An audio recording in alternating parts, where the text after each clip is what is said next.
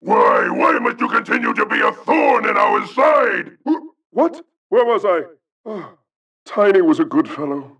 He hated everyone and everything, but a good heart nonetheless. Please be more reasonable with my minions next time.